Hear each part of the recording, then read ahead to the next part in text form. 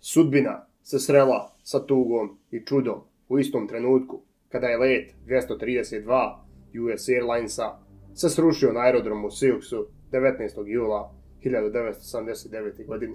DC-10 je trebao ići ka Čikagu kada je motor na repo eksplodirao. Šapneli od udara su oštetili hidraulične linije. Piloti su izgubili kontrolu nad avionom. Šanse za ovakvu nesreću su vjerovali ili ne, jedan u bilion. Šanse za preživljavanje su još gori, ali nevjerovatan prizor genijalnosti i skila od strane pilota u kombinaciji sa nevjerovatno smirenom armijom spasilaca je dovelo do toga da se spasi 184 osobe od 296 koji su bili na letu. Vi ste na Lister kanalu i gledate avionske nesreće, let 232. Like, share, subscribe, vozi! Let 232 je uzletio iz Denvera te se zaputio u Chicago u 2 sata i 9 minuta posle podne 19. jula 1989. godine. Oko 3 sata i 16 minuta posle podne na visini od oko 11 km iznad Alte Iowa motor na repu aviona eksplodirao. Mikroskopska greška na motoru je bila krivac raspada. Šrapneli su oštetili hidrauličke linije. Tekućina je iscurila za 2 sekunde. Kapetan Alfred C. Al Haynes je imao problema pilotirati avionom bez autopilota. Oštećeni avion je počeo naglo skretati. Bila je opasnost da avion krene sumanuto padati prema dole, što bi dovelo do momentalne pogibije svih 296 putnika. Haynes i prvi oficir William Records i drugi oficir Dudley Dvorak su uspjeli povratiti kontrolu nad avionom. Kada su uspjeli prilagoditi potisak da se raspodijeli na dva preostala motora, po jedan na oba krila, uspjeli su stabilizirati avion. Haynes je prilikom leta za spašavanje uspio spaliti drugi motor, te sve ostalo na jednom motoru. Rezultat leta na jednom motoru je izgledao kao vožnja automobila u pijanom stanju. Dennis E. Danny Fitch je sedio u prvoj klasi.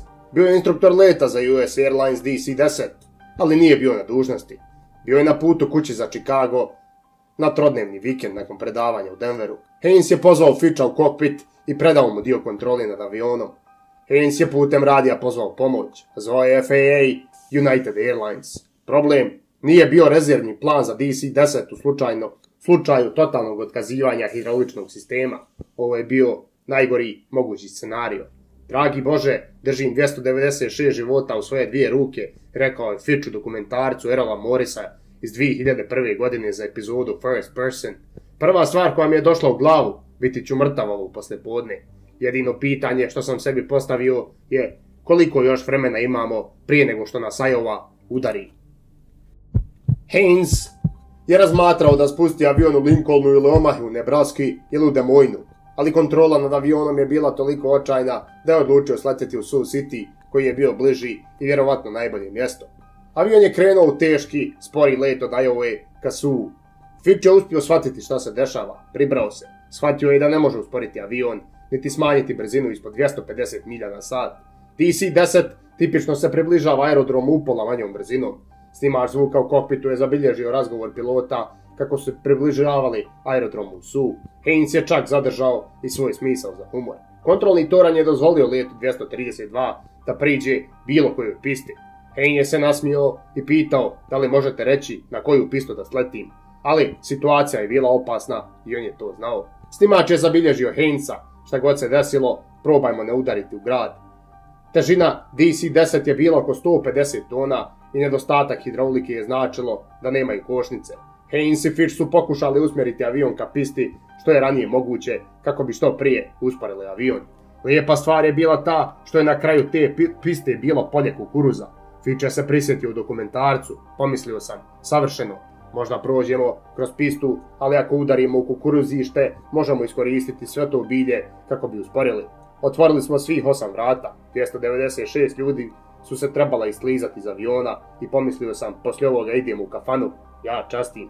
Ali naravno, slijetanje nije tako završilo. Avion je eksplodirao i raspao se na četiri dijela. Avion je išao toliko brzo kada je udario u pistu. Haynes je rekao Fitchu da uspori. Fitch mu je odgovorio, ne mogu, zato su ti krila još raširena. Daj Fitch, spustio svoju energiju prema motorima, nos aviona bi prvi udario u tlo, te bi se krila raspala, svi bi poginuli. Fitch je shvatio da je avion prebrzo padao. Pokušao je podići nos kada je pogurao motore do maksimalne snage, te bi ih onda umirio u zadnjem trenutku. Ali nije bilo dovoljno vremena. Nekoliko trenutaka prije četiri popodne, desno krilo United 232 je udarilo tlo te se raspalo na pisti. Gorivo je počelo liti iz aviona. Avion je eksplodirao i raspao se na četiri dijela. Trup aviona je otlizao u kukuruzište, na kraju te ga zapalio. Dvije bolnice u Sioux Cityu, uključujući i centar za opekotine, su bile u promjeni smjena. To je značilo da je bilo više ljudi za pomoći preživjelim. A je ova zračna nacionalna garda je bila na dužnosti na aerodromu Sua. 300 vojnika je pomoglo pretrazi, spašavanju i trijaži. 45 minuta između eksplozije motora i eksplozije pomoglo spasiocima iz drugih organizacija da dođu do aerodroma i pomognu spasiocima. Samo dvije godine ranije, Gary Brown, direktor spasilačkog centra okruga Vodbury, je radio na padu aviona 1989. godine, te je radio na najvećem spašavanju u historiji SAD-a do tada. Taj trening se spojio sa željom i radom hiljada volontera koji su došli na aerodrom kako bi spasili svaki mogući život. Zadnji izvještaj Nacionalnog odbora za sigurnost saobraćaja kaže da je ova nesreća zabilježila ogromnu potragu koja je spasila 41 život koji bi bio ugašen u drugom slučaju.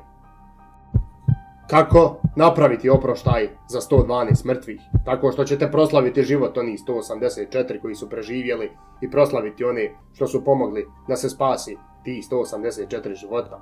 Odbor je pozvao Heinsa i druge na 25. obljetnicu pada aviona. Heinz je pohvalio posad aviona, spasilačke timove i bolnice, ali nakon više od dva desetljeća posle nesreće, on je ostao tužan, jer stewardese nisu dobile nikakvu zahvalu za svoj udio u spašavanju 184 života na letu 232. Uvijek ću misliti na onih 112 osoba koje nisu preživjele, rekao je Haynes. Fitch, koji je preminuo 2012. godine od raka mozga, rekao je u dokumentarcu, rado bih zamijenio svoj život za njihove, jer ja sam bio odgovoran. Mi kao ekipa smo uspjeli spasiti 184 života, ali to što znam da ti ljudi ne bi bili živi, mi ne tjera misli na onih 112 osoba. Možda doktor David Greko, koji je bio na ambulanti u helikopteru i radio na mjestu nesreće, je dao najbolji odgovor. Zadnjih 25 godina, još od kada sam prisustovao toj nesreći iz helikoptera, pitam se da li je to bila katastrofa ili čudo. Na kraju, to je bilo oboje, pa čak i više. Časni Greg Lepper, penzionisani kapelar zračne garde Iowa, radio je na mjestu katastrofe. Radio je sa bivšim vojnicima vojske SAD-a koji su patili od PTSP-a i ostalih psiholoških problema koje je donio rat u Iraku i Afganistanu. U ekovu njihove tuge Klepper je čuo iste krike od onih koji su pokušavali spasiti živote ljudi sa leta United 232. Mislim da smo mogli uraditi više kako bi spasili više života. Neki ljudi nose krivnju cijelog života, Klepper je rekao u e-mailu.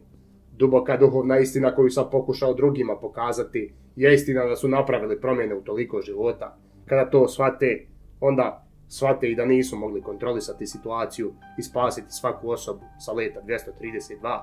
Brown, direktor centra za hitne slučave, je dodao Ako postoji nasljeđe leta 232, koji ga se vredno sjetiti nakon 25 godina ili 125 godina od danas, jeste, nemojte nikada izgubiti želju pomoći drugim ljudima. Brown je nastavio, mnoge stvari su se promijenile i promijenit će se u ovoj državi, ali to nemojte izgubiti. Moramo se držati zajedno pod bilo koju cijenu, pomozite jedni drugim.